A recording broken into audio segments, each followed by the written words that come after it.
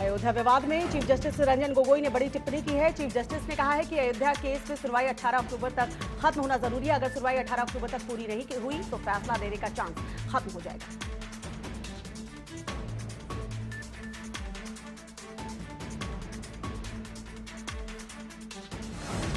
भारत के विदेश मंत्री एस जयशंकर ने बुधवार को न्यूयॉर्क में कहा है कि पाकिस्तान एक चुनौतीपूर्ण पड़ोसी है। दुनिया में ऐसा कोई देश नहीं जो आतंकवाद को जानबूझकर भारत के खिलाफ भड़का रहा हो। उन्होंने ये भी कहा कि कश्मीर में ज़्यादा दिक्कतें अनुच्छेद 370 हटाए जाने से पहले। पीएनबी स्कैम में आरोपी मेहुल चौकसी को लेकर एंटीगुआ के प्रधानमंत्री ने बड़ा बयान दिया है। गैस्टन ब्राउन ने मेहुल चौकसी को धोखेबाज करार देते हुए कहा है कि भारतीय जाँच एजेंसियाँ एंटीगुआ आकर मेहुल चौकसी से पूछताछ करने के लिए स्वतंत्र हैं।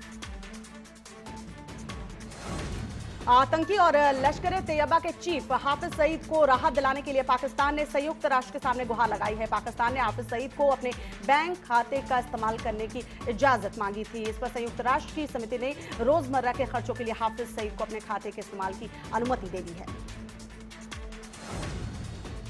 एनएसए अजीत डोभाल एक बार फिर श्रीनगर पहुँचे हैं। इस दौरान वो लोगों और अधिकारियों दोनों से मुलाकात करेंगे। दरअसल जम्मू कश्मीर से आर्टिकल 370 हटाए जाने के बाद अब 50 दिन हो चुके हैं। 31 अक्टूबर को जम्मू कश्मीर केंद्र शासित प्रदेश बन जाएगा और यहाँ पूरी तरह से केंद्र के कानून लागू होंगे। यही कारण है कि एनएसए अजीत डोभाल कश्मीर पहुँचे। रॉबर्ट वाड्रा की जमानत को खारिज करने के लिए लगाई गई है ईडी की अर्जी पर आज दिल्ली हाईकोर्ट में सुनवाई हुई। इस दौरान ईडी ने कहा कि रॉबर्ट वाड्रा की जमानत खारिज की जानी चाहिए क्योंकि हम वाड्रा का कस्टोडियल इंट्रोग्रेशन करना चाहते हैं। बीकानेर लैंड डील मामले पर जोधपुर हाईकोर्ट में गुरुवार 26 सितंबर को रॉबर्ट वाड्रा की याचिका पर सुनवाई हुई। बीकानेर में 275 बीघा ज़मीन खरीद के मामले में स्काईलाइट प्राइवेट लिमिटेड के खिलाफ ईडी की कार्रवाई रोकने के लिए याचिका लगाई गई। कांग्रेस के दिग्गज नेता और पूर्व प्रधानमंत्री मनमोहन सिंह आज सत्तासी साल के हो गए हैं। मनमोहन सिंह के जन्मदिन के मौके पर प्रधानमंत्री नरेंद्र मोदी ने उन्हें बधाई दी है। अमेरिका दौरे के बीच ट्वीट करते हुए पीएम मोदी ने लिखा है कि पूर्व प्रधानमंत्री मनमोहन सिंह को जन्मदिन की बधाई। पूर्व केंद्रीय मंत्री और बीजेपी नेता हंसराज अहीर के काफिले में शामिल वाहन गंभीर दुर्घटना का शिकार हो गया है। इस हादसे में सीआरपीएफ का एक जवान और गाड़ी चला रहे महाराष्ट्र पुलिस के जवान की मौत हो गई। है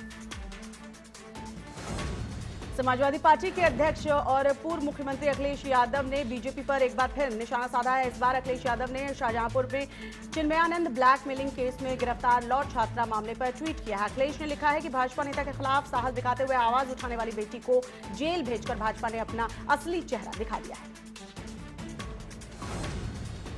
हरियाणा विधानसभा चुनाव के लिए कांग्रेस ने स्टार प्रचारकों के नाम फाइनल कर दिए हैं। सोनिया गांधी, प्रियंका गांधी, राहुल गांधी, गुलाम नबी आज़ाद, ज्योतिरादित्य सिंधिया और सचिन पायलट को स्टार प्रचारकों की सूची में शामिल किया गया। आज दिल्ली में स्क्रीनिंग समिति की बैठक हुई। बैठक के बाद कुमारी सैलजा ने बताया कि सभी सत्रह सिटिंग विधायकों को टिकट मिलेगा। दिल्ली में जननायक जनता पार्टी के नेता दुष्यंत चौटाला ने कहा कि बेरोजगारी खत्म करने के लिए जेजेपी आई है। जेजेपी की सरकार बनी तो रोज़गार मेरा अधिकार का कानून लागू करके निजी क्षेत्र में 75 प्रतिशत प्रदेश के युवाओं को रोज़गार दिया जाए। बिहार में 21 अक्टूबर को पाँच विधानसभा सीट पर उपचुनाव होना है। कांग्रेस इस उपचुनाव में सभी सीटों पर अपने उम्मीदवार उतारेगी। वहीं बिहार कांग्रेस चुनाव समिति ने यह फैसला करते हुए पाँच लोगों का नाम आलाकमान को भेजने का ऐलान किया है। भोपाल में सीएम कमलनाथ ने 11 पंडितों की मौजूदगी में मंत्रोच्चारण के साथ पूजा अर्चना के बाद मेट्रो ट्रेन प्रोजेक्ट का शिलान्यास कर दिया। इसी के साथ मेट्रो ट्रेन का काम शुरू हो गया है। महाराष्ट्र में जमकर तबाही मचाने के बाद बारिश ने पुणे में अपना कहर बरपाना शुरू कर दिया है। पुणे में जोरदार बारिश की वजह से सड़कों से लेकर घरों तक बारिश का पानी भर है। गोंडा ज़िले के सरकारी अस्पताल में तैनात जिला क्षय रोग अधिकारी मलिक आलमगीर अपना प्राइवेट क्लिनिक चलाने में व्यस्त हैं। क्लिनिक पर मरीजों का इलाज कर रहे डॉक्टर मलिक को भनक लगी कि उनका स्टिंग हो रहा है तो वो अपनी कुर्सी छोड़कर भागते नज़र आए। सदर कोतवाली के सरकारी आवास में महिला कांस्टेबल ने दुपट्टे से फांसी लगाकर खुदकुशी कर ली। 2016 बैच की कांस्टेबल जुलेखा मूल रूप से गाजीपुर ज़िले की रहने वाली थी। उसकी वर्तमान पोस्टिंग बनकटा थाने में थी। जोधपुर के बासनी थाना इलाके में एक पुलिसकर्मी की लोगों ने पिटाई कर दी। पिटाई का वीडियो सोशल मीडिया पर खूब वायरल हो रहा है। बताया जा रहा है कि पुलिसकर्मी नशे में धुत था और लोगों से पैसे की लेन देन की मांग कर रहा था। इस बात पर लोगों ने उसकी जमकर पिटाई कर दी। इंदौर से नागपुर जा रही स्लीपर बस आज सुबह बैतूल बाज़ार के पास फोर लेन पर हादसे का शिकार हो गई। इस हादसे में बस ड्राइवर की मौत हो गई, जबकि 12 पैसेंजर गंभीर रूप से घायल हो गए, जिनको जिला अस्पताल में इलाज के लिए भर्ती करवाया गया। पंचकुला में पैंसठ साल की बुज़ुर्ग महिला का खून से लथपथ शव मिलने से इलाके में सनसनी फैल गई। मृतक का नाम प्रेमवर्ती है, जिसका शव अपने घर के बाहर पड़ा मिला। वहीं खबर मिलने के बाद पुलिस मौके पर पहुँची और फॉरेंसिक टीम के साथ जाँच पड़ताल शुरू कर दी गई। भारतीय स्टेट बैंक ने खाते में मिनिमम बैलेंस नियम में थोड़ा बदलाव किया है। इस बदलाव के साथ लगने वाला चार्ज 1 अक्टूबर से लागू हो जाएगा। सबसे अहम बदलाव यह है कि बैंक ने इंटरनेट और मोबाइल बैंकिंग ट्रांजैक्शंस पर मासिक सीमा को पूरी तरह से खत्म कर दिया है।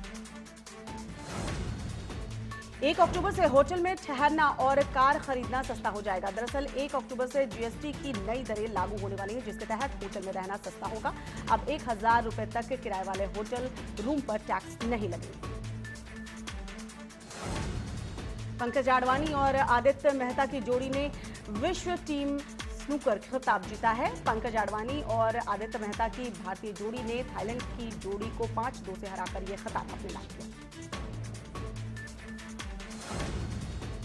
बंगाल वॉरियर्स और तेलुगु टाइटंस के बीच खेला गया मुकाबला। इस मैच में बंगाल की टीम को काफ़ी करीबी जीत मिली और उसने मुकाबला एक अंक से जीत लिया। श्रीलंका के भारत दौरे का ऐलान हो चुका है। भारत अगले साल जनवरी में श्रीलंका क्रिकेट टीम की मेजबानी करेगा। दोनों देशों के बीच तीन मैचों की टी ट्वेंटी सीरीज़ खेली जाएगी। बीसीसीआई ने एक बयान जारी कर इस बात की जानकारी दी। चोटिल होने से दक्षिण अफ्रीका के खिलाफ होने वाली तीन मैचों की टेस्ट सीरीज़ से बाहर होने के बाद जसप्रीत बुमराह ने वादा किया है कि वो मैदान पर दमदार वापसी करेंगे। बुमराह ने ट्वीट किया है, चोट खेल का महत्वपूर्ण हिस्सा है। मेरे ठीक होने की कामना करने के लिए आप सभी को धन्यवाद। मैदान पर दमदार वापसी, मेरा लक्ष्य। भारत की बैडमिंटन खिलाड़ी पीवी सिंधु को कोरिया ओपन सुपर 500 टूर्नामेंट के महिला एकल वर्ग के पहले ही दौर में हार का सामना करना पड़ा। वर्ल्ड नंबर 11 अमेरिका की बिवेन ने कड़े मुकाबले में सिंधु को टूर्नामेंट के पहले दौर में मात देकर टूर्नामेंट से बाहर किया।